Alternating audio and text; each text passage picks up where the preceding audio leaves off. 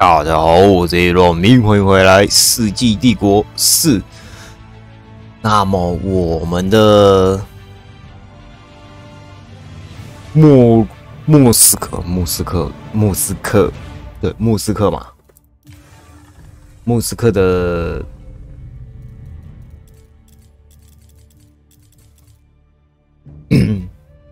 我莫斯科的战役哦，依旧继续啦。对，那上一集其实有一点说错，就是当我们蒙古结束的时候，我们在第一章最开始的时候是讲到开始的那个蒙古，呃，是他以为是莫斯科是反抗当时的蒙古帝国，但并不是。对，年份有点不太一样。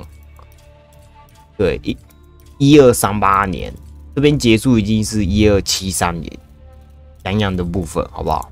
对，所以这边来到一口气哦，跳的还蛮多，一三七五年，对，直接要来了，一三七五年，我们就来吧，我们来看看吧。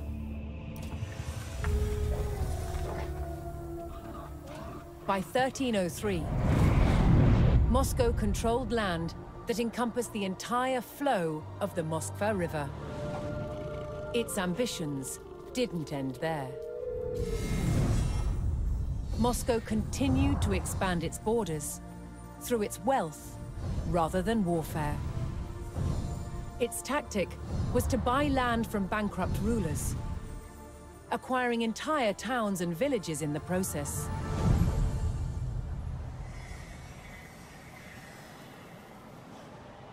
As Moscow was still a vassal of the mighty Mongol Empire, it had to send envoys to pay them tribute.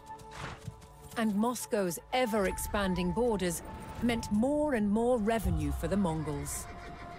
But not everyone was content with the rise of Moscow.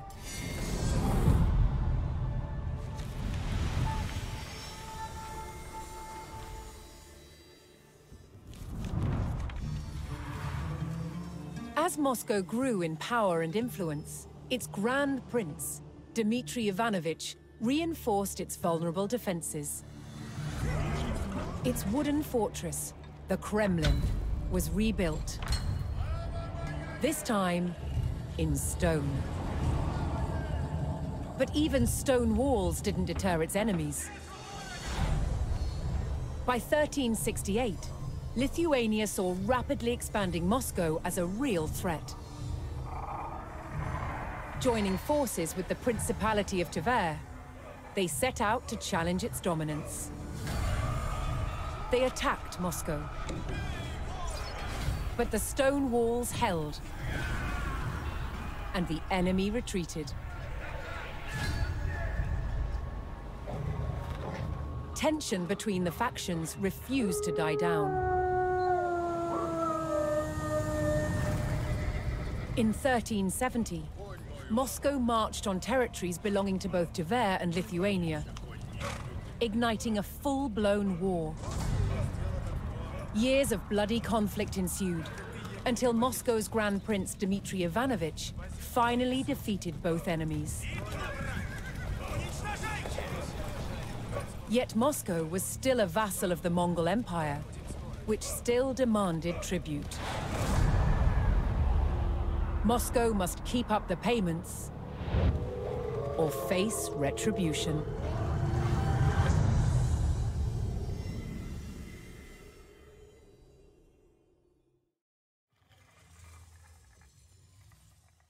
随着莫斯科领地逐渐扩大，需要上缴给金帐汗国的贡金也越来越高。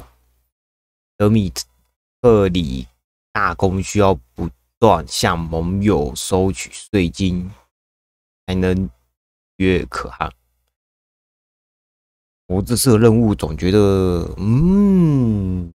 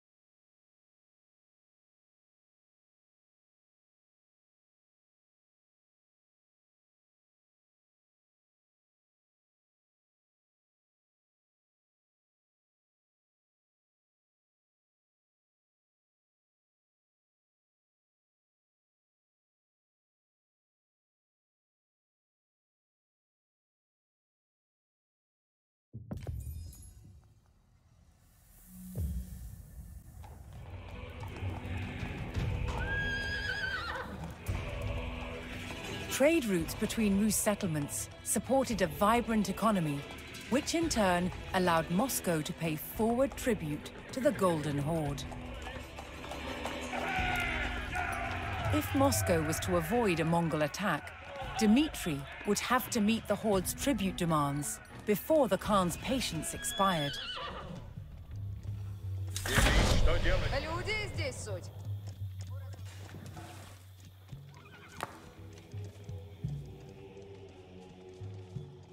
Moscow's primary means of raising the taxes demanded by the Horde was through trade with nearby Люди Rus здесь towns. суть.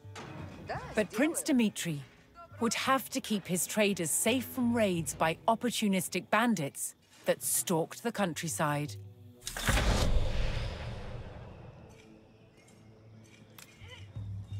Построено будет. Да. Готов. Иду. Начну, трудитесь. Наказывай. Радуйся. While Moscow's trade was strong, Dmitri could bolster his income if he could locate additional trade partners. Устроено будет. Иду. Готов. Исполнить фаревник направляется. Работа Стой, ждет. стой. Садитесь. Позаратай готов есть. Слушай наказ снов. Дело есть. Сие возможно есть. Слушайте все. Чего? Я пойду туда.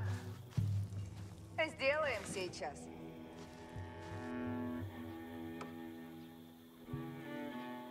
Уразумех. Я построю. Готов трудитесь, есть.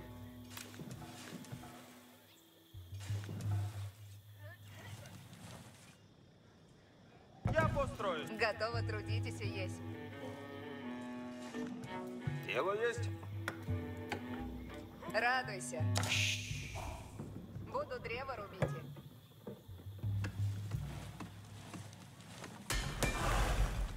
Брань будет. Сделано будет. Каковина Готовы трудитесь и есть. Наказе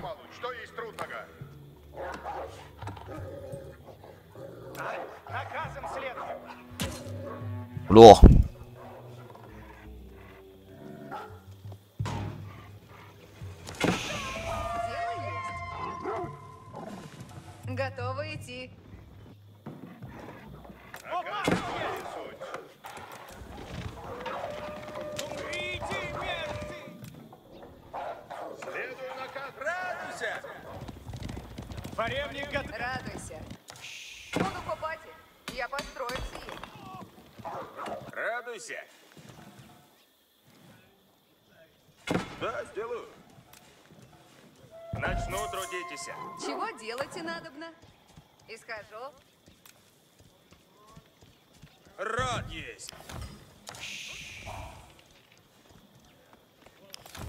Юнака снов. Напряжь войне. Слушайте все. Радуйся. Уразумех. Радуюсь.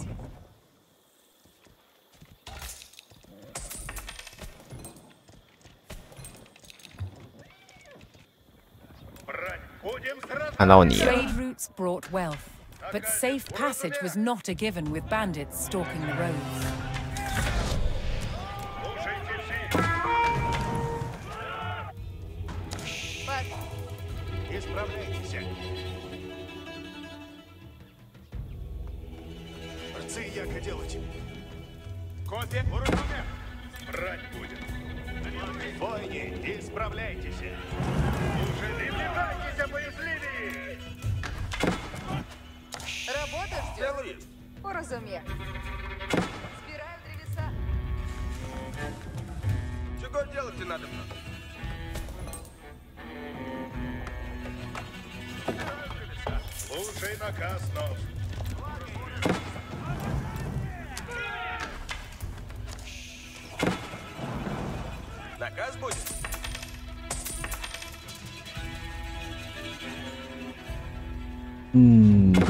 一丢丢的远呢。老实说， Increasing Moscow's income required locating additional trade partners. To do so, the Muscovites needed to scout the land in search of new settlements. Чего делать надо мно? Готов, трудитесь, есть. Вот справляюсь. Брать будет. Як угодно есть.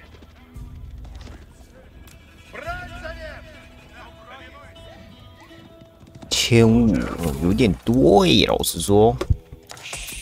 Я здесь.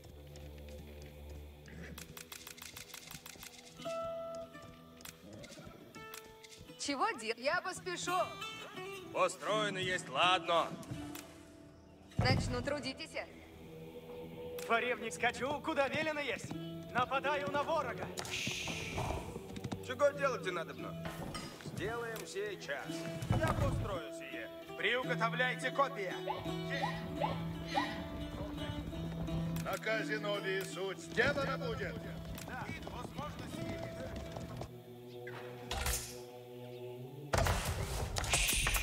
Готово. Я здесь. А выхожу.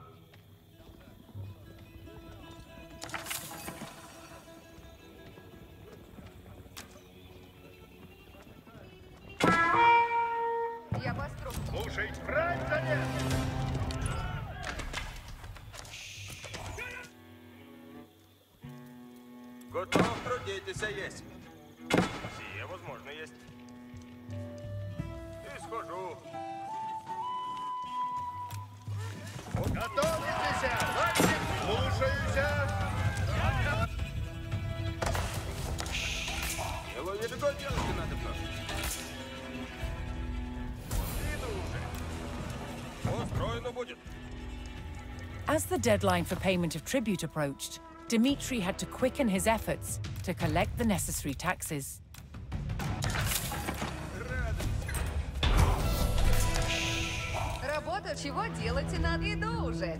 With the Golden Horde paid, the Muscovites could concentrate on expanding their territory until the next payment was due.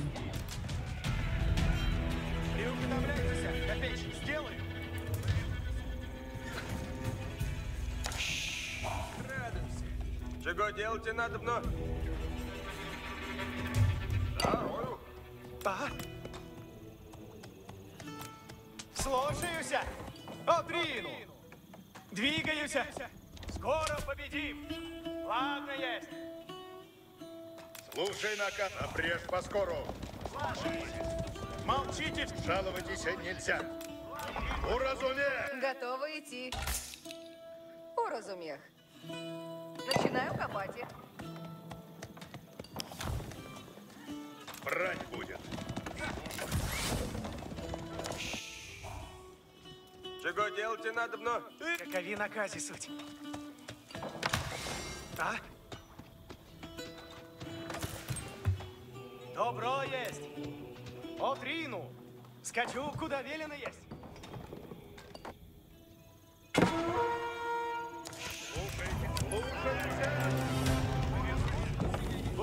На приходите, войни. Луч иду.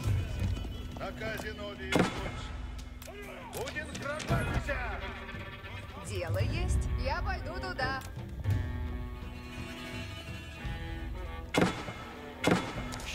Построено будет. Готов, трудитесь, есть. Люди слушают. Радуйся.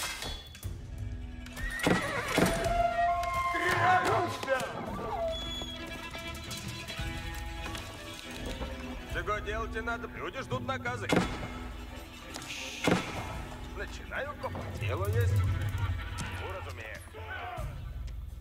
Каков приказ? Идти надо на помалу. Что есть трудного? Приближайтесь, боязливее! As Moscow grew in riches, the Khan continued to demand taxes. If Dmitri did not pay, he would face the swift vengeance of the Horde.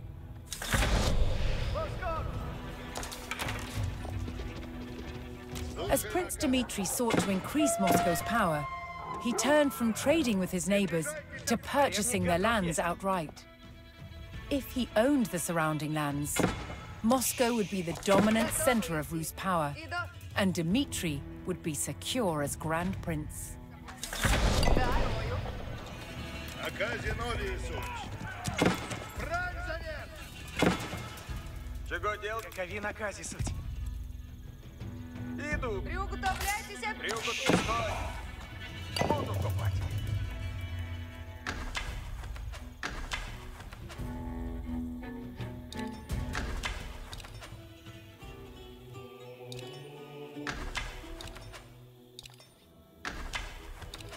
Чего делать, не схожу. Начну трудиться. Приказывай.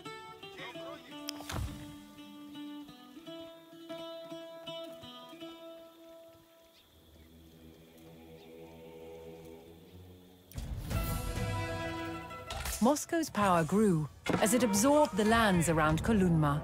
The town would now generate gold without the need for taxing traders. Радуйся. Хватит, будем сражаться!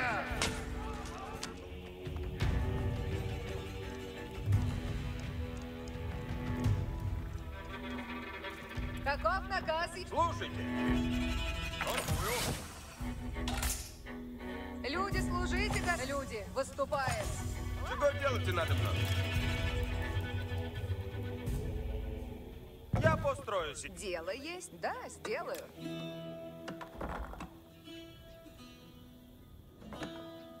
Меня Я поражает! сие. Радуйся.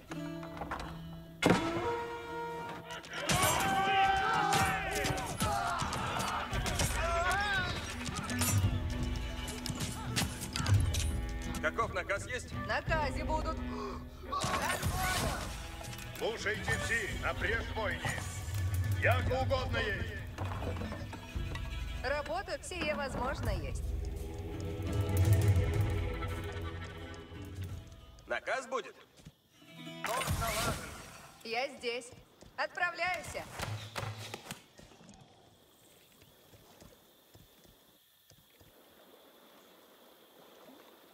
Стройный есть, ладно.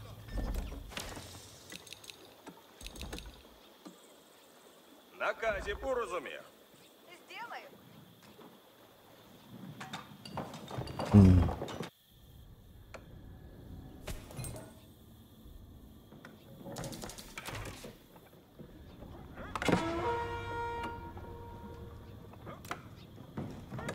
Добыть древес. Каков наказ есть?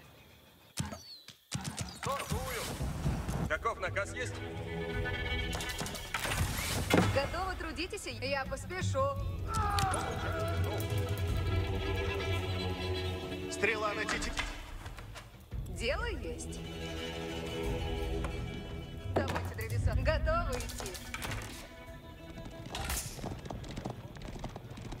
Чего делать и надобно? Построено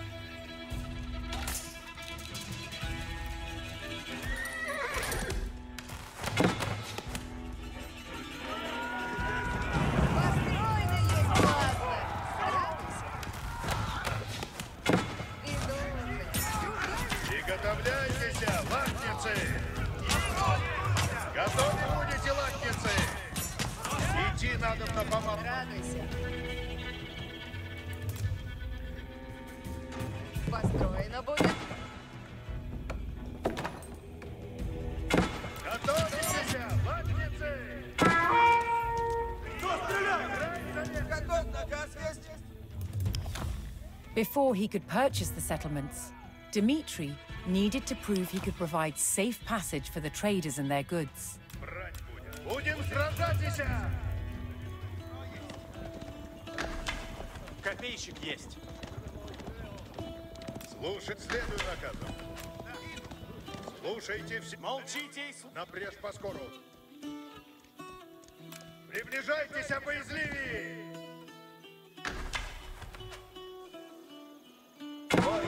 Надобный, соглашайся. Исправляйтесь. Добро есть.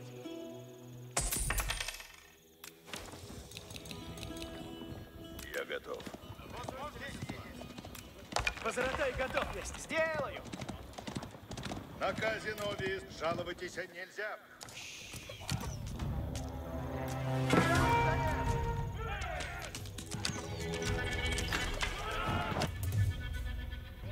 Исправляйте. Дело есть. Начну трудитесь.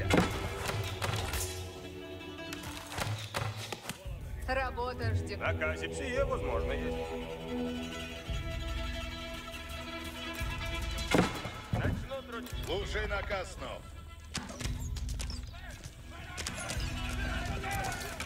Будем сражаться. Чего делать надобно?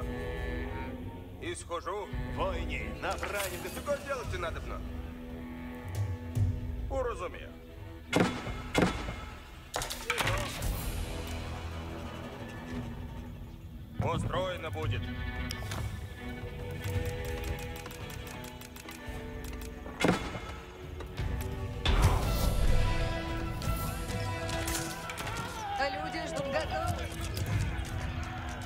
Dmitry purchased the lands of Troitsky and extended Moscow's power.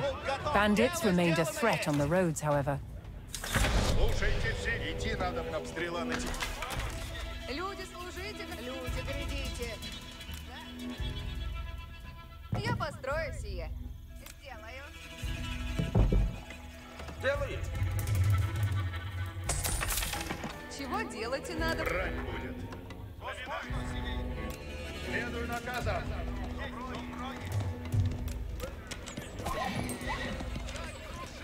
Яко угодно есть.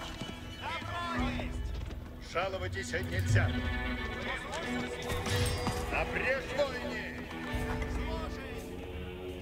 Яко угодно есть. Нападаю.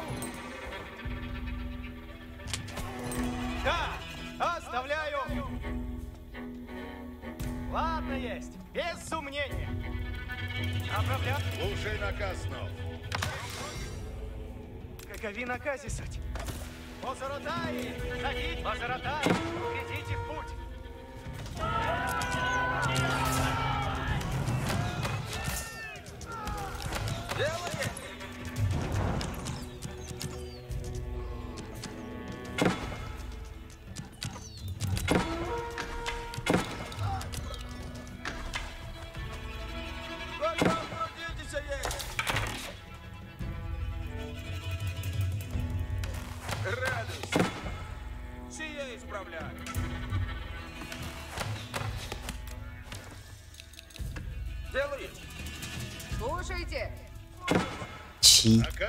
казинове суть.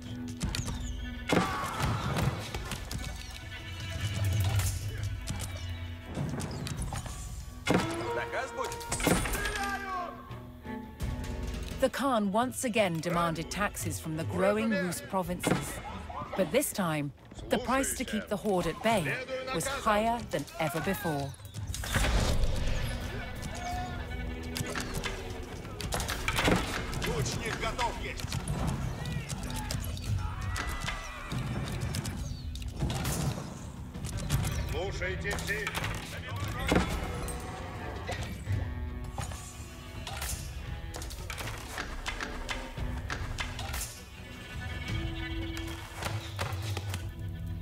Наказ есть?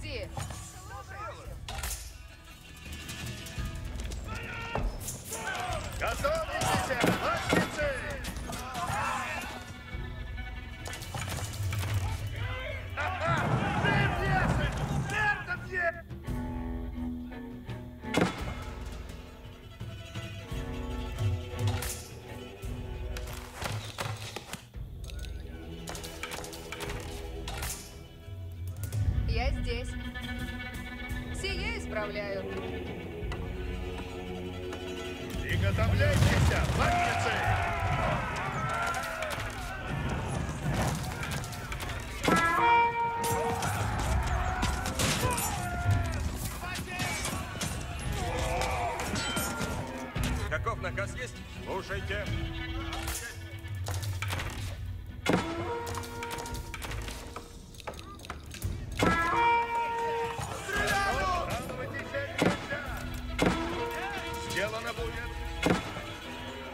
哇！被多面暴举啊！忘记呃，我忘记编造那个防守的部队了，知道吗？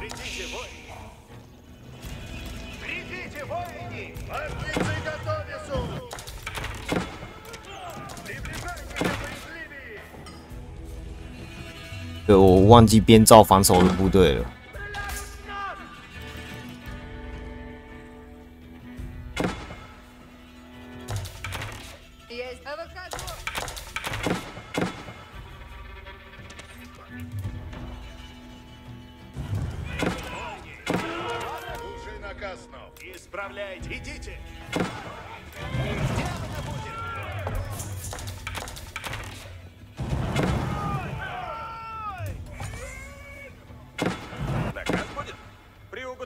Приуготовляйтесь все.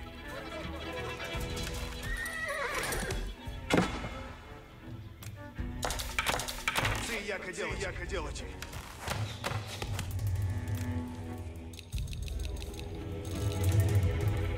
Чего делать надобно? Или что делать? Слушаюся! Войни, надобно... Идите!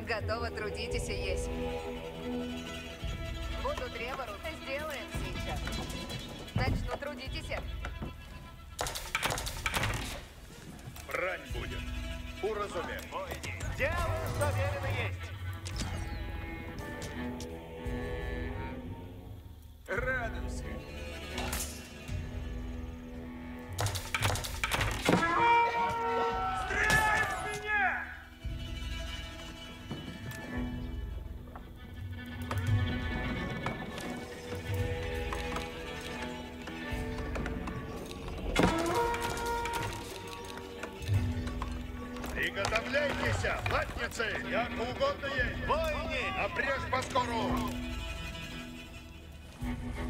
стреляют! Готов трудитесь есть. Наказы будут надобно есть.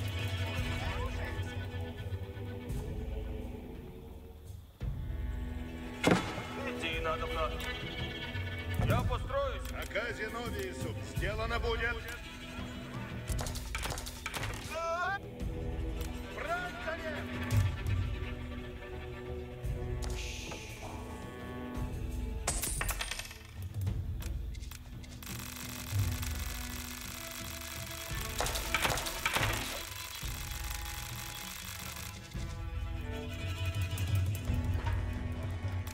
Слушайте все!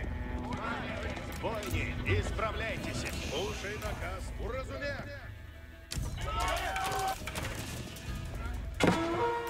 Слушаюся! Войни, на брань уготовляйтесь.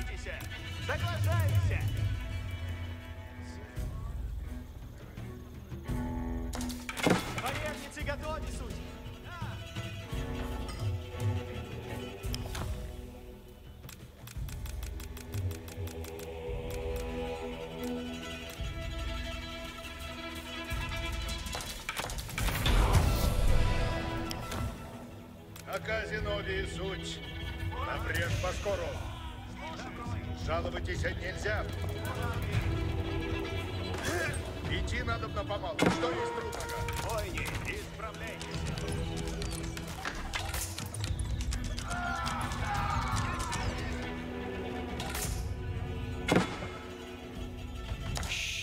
Радуйся, да, сделаю. Я построю сие.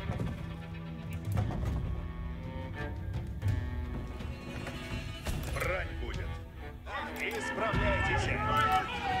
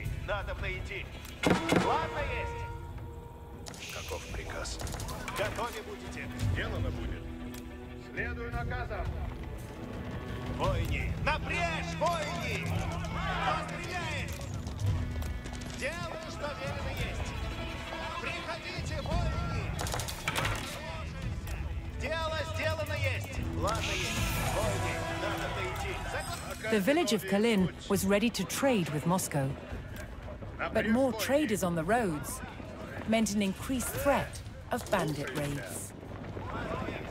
Исправляй. Напрячь, стреляю!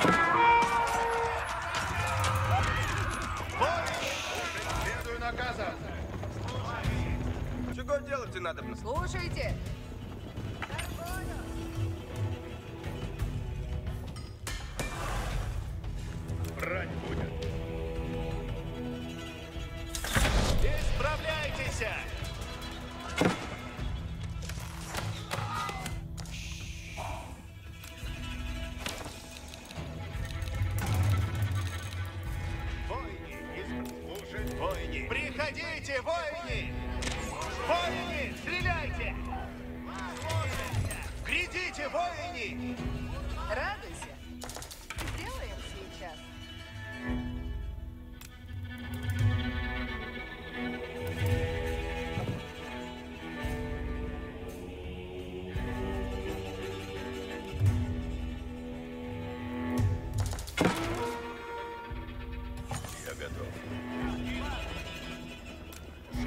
Жаловайтесь нельзя.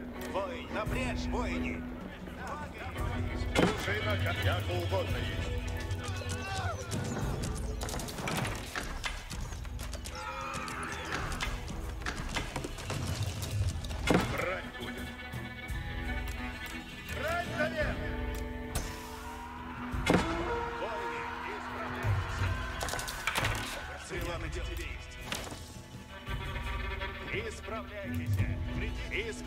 llevó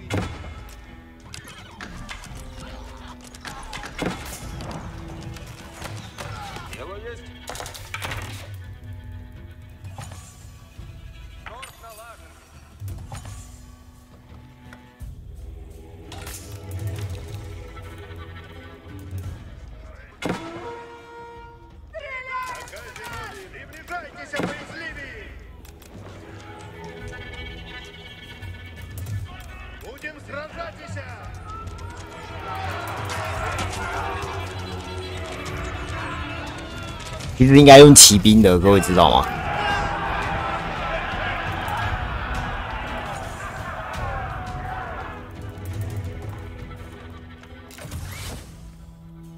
对，用骑兵来守会比较好。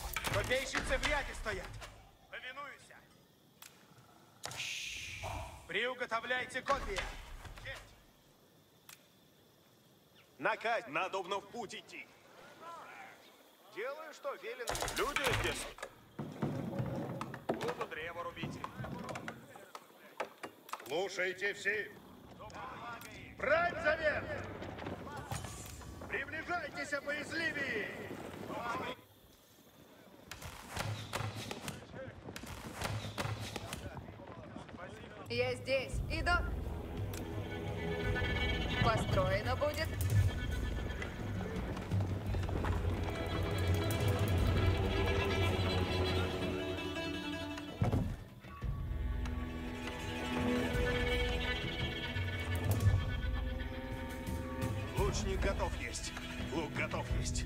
Рцы яко делайте.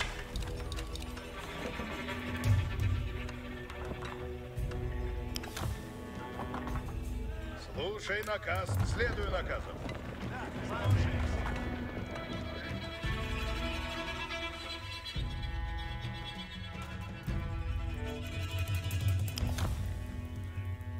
Исполняйте.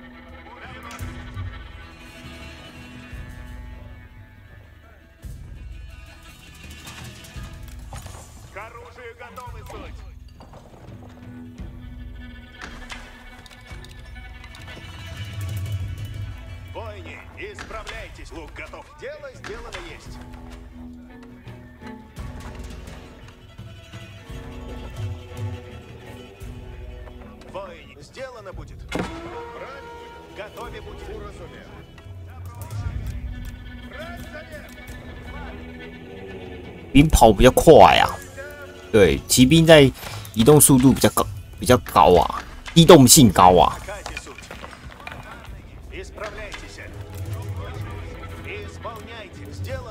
所以其实骑兵是比较适合的。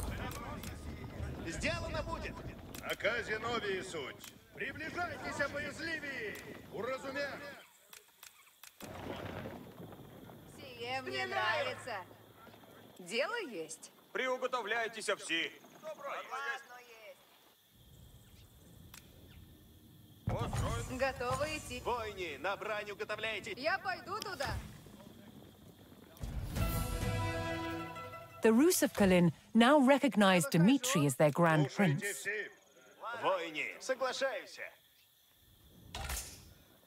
Стрел... Стрелец грядет. Слушать сделано будет.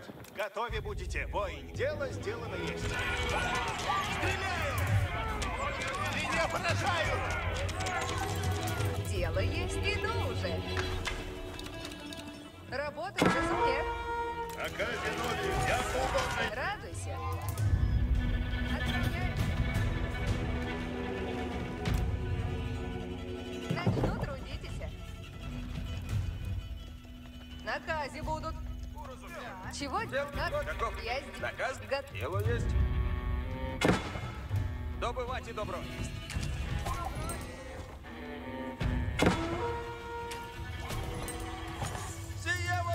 Возможно есть. Идти надо было. Добро есть. Брань будет. Будем сражатися. Наказе суть. Брань будет. Исправляйтесь. Приступаем. Уразумел. Слушайте всі. Исправляйтесь. Соглашаюсь. Дело сделано есть. Слушай наказ. Будем сражатися.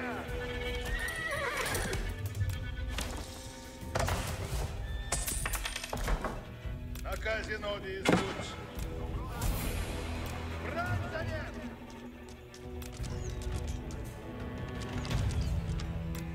Уразумел. Готове будете, воини. Сделано.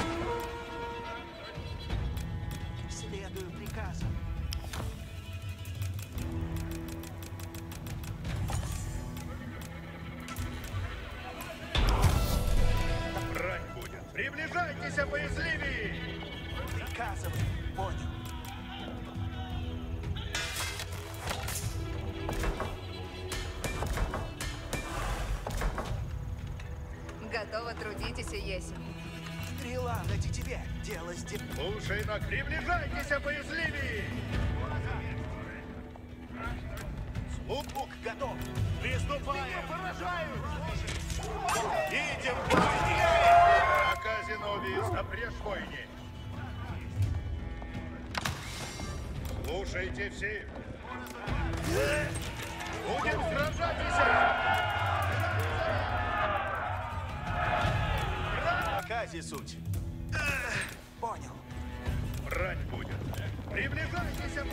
太简单。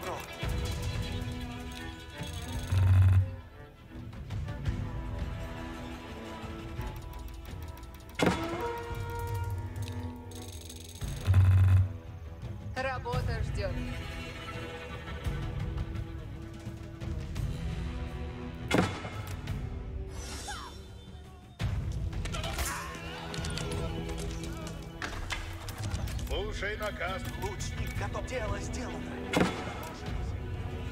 Сделаю. Следую приказам.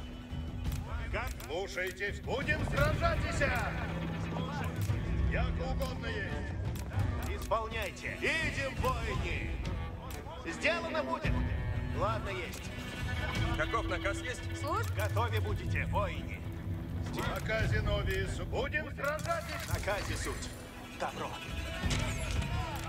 Делаю, что велено есть. Брать будем. Ладно, теперь дело сделано. Лучник готов. Слушай наказ, Нов. Наказе ноль. Идти надо на помалу. Что есть трудного? Бойни, надо идти. Выступай. Готовитесь, младенцы! Бойни, исправляйтесь.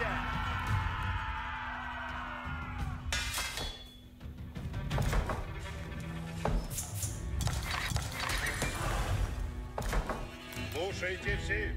Приближайтесь, боязливее! Брать совет! Уразумел.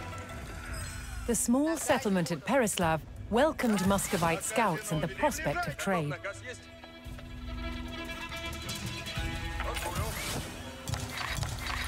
И наказ есть? Брать будем. Исправляйтесь. Ладно есть. Слушай наказ, Нов. Брать совет! Задницы готовы. Садитесь на балконе! Бойни, надо мне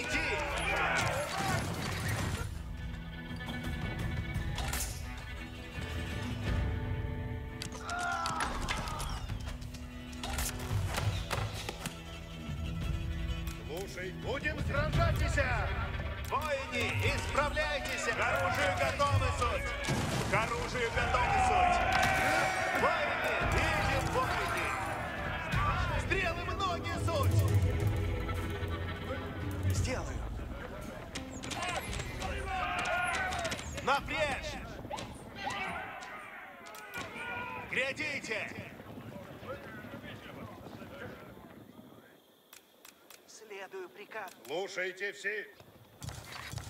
Лук готов. Понял. Понял. Дело сделано. Добро. Брань будет. Брань совет! Врядуюсь мы. Слушай наказ. Приближайтесь, боязливее! Бойни, исправляйтесь. Исправля... Ладно, есть.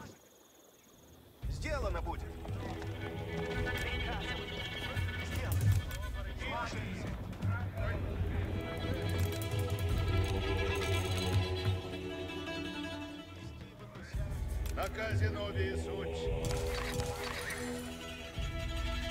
Бойни, надо идти. Исправляйтесь. Брать будем. Слушаюсь. Напрежь по скору. Напрежь бой. Радуйся и схожу. Отправляюся. Уже. Начну трудитися. Получаем мзду.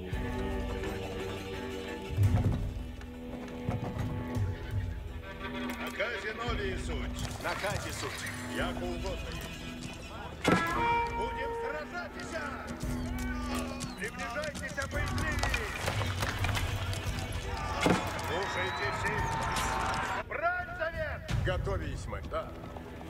Готов? Як угодно есть. Воини, исправляйтесь.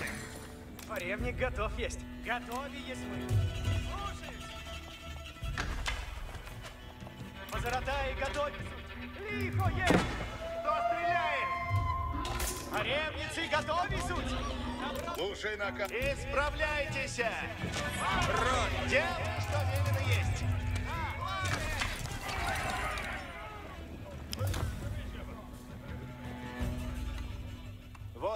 надо найти. Идите!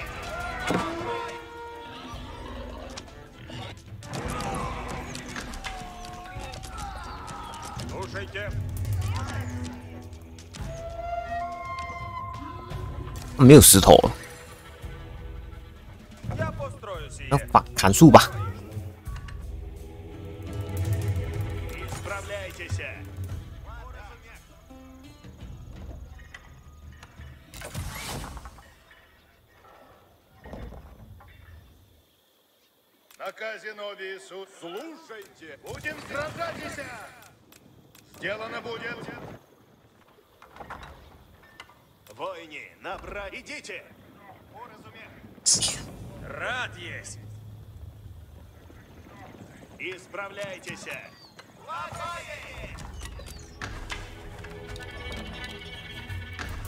到底要让我买了没？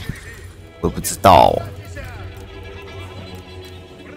对啊，我的三人回去了没？回来了吧？我、还没有，还在走，在走。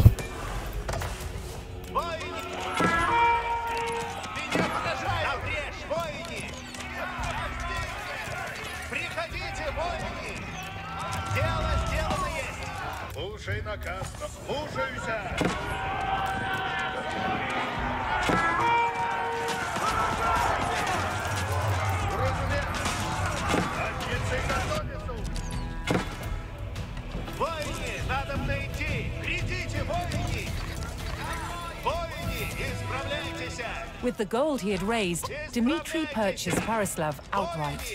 Moscow's power over the region was now secure.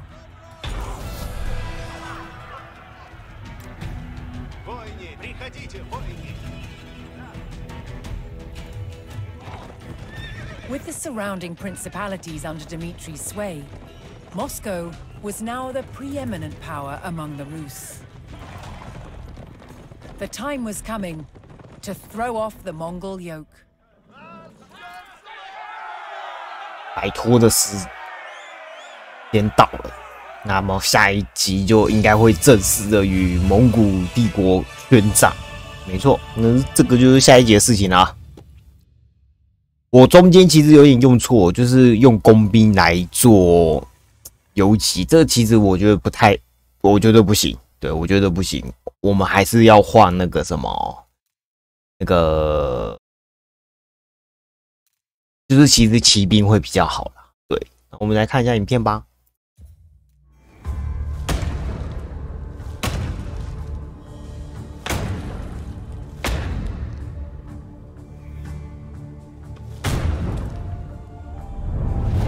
Medieval Moscow, Muscovy, was shielded by vast forests, which slowed the advance of approaching enemies. These woodlands were also an abundant source of timber for building wooden forts. Forts built within urban settlements were called Kremlins. The original Kremlin in Moscow, from at least the 12th century, was made entirely from wood, as were all buildings in the city. To understand how these forts were constructed, a scaled-down version is being made. Moscow built forts in vast numbers. You can see they had an ingenious way of doing it. These standard lengths of wood have V-shaped notches cut into the end, and then they can be simply overlaid into a box construction which forms a cell. No joints, no nails, just the sheer weight will keep them in place. Stacked together both vertically and side by side, these cells created astonishingly resilient walls.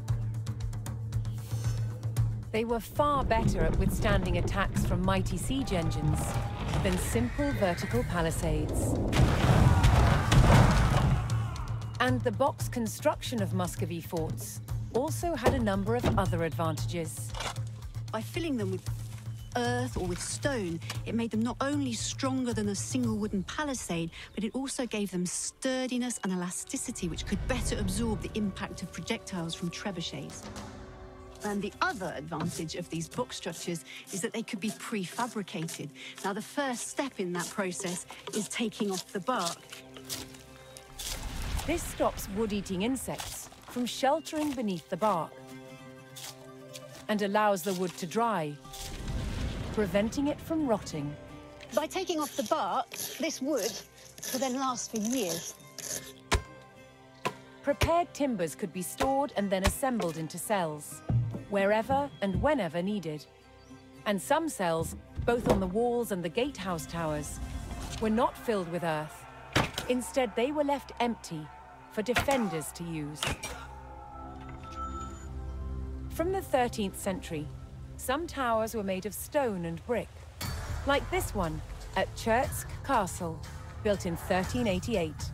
When stone wasn't available locally, red brick was the material of choice. Of course, the advantage of using bricks is that they're easy and cheap to manufacture, they're uniform, so easy to build with, and it's these red bricks which give the distinctive look to Eastern European castles, which we can still see to this day.